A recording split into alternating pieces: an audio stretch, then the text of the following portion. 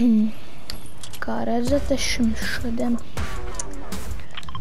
uh, šodien mm, pastāstīšu par klambo. Un, un klambo ir tāds dzīvnieks, kur, kas Fortnite man ļoti, ļo, kas Fortnite man ļoti, ļoti patīk un mums ir, ir mans mīļākais. Es jums parādīšu, kā ar viņu darboties. Lore, šis ir klambo. Nu, jā, tas tur. Un viņš ir tā kā mīlīgs dzīvnieks.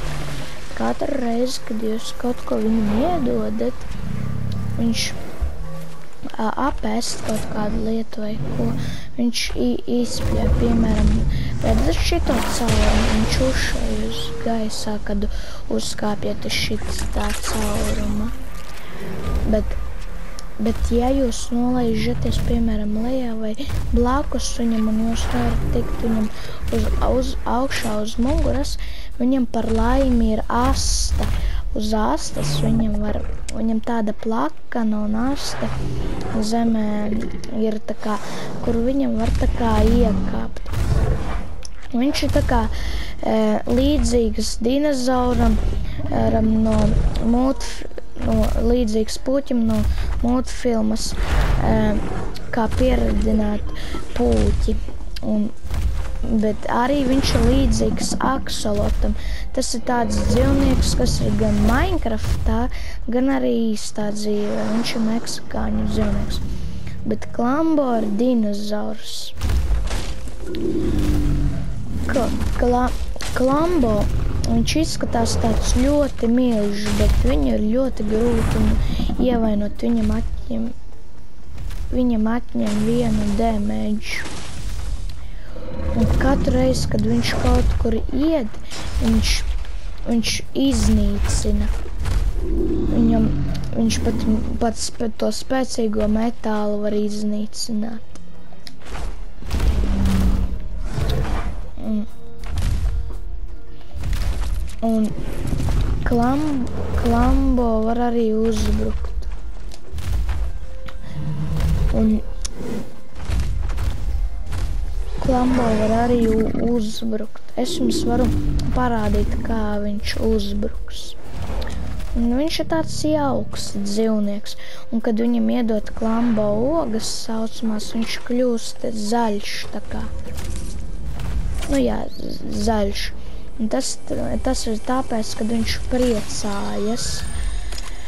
Un klambo, viņš ir ļoti milzīgs un interesants dzīvnieks. Viņš var iznīcināt pilnīgi jebko. Kurē viņš kļūst zaļš, viņš kaut ko laikam ir apēdis.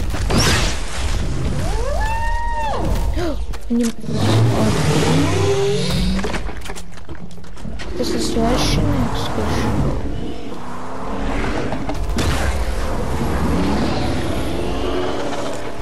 Jo, tas ir svešinieks.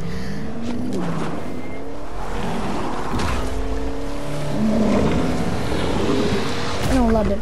Kamēr viņš neko ļaunu nedarīs, viņš te piebraucis laikam ir. Un kamēr viņš neko nedarīs, es pastāstīšu par klambu. Klambo var arī šito te iedot, kas viņam ļoti garšo.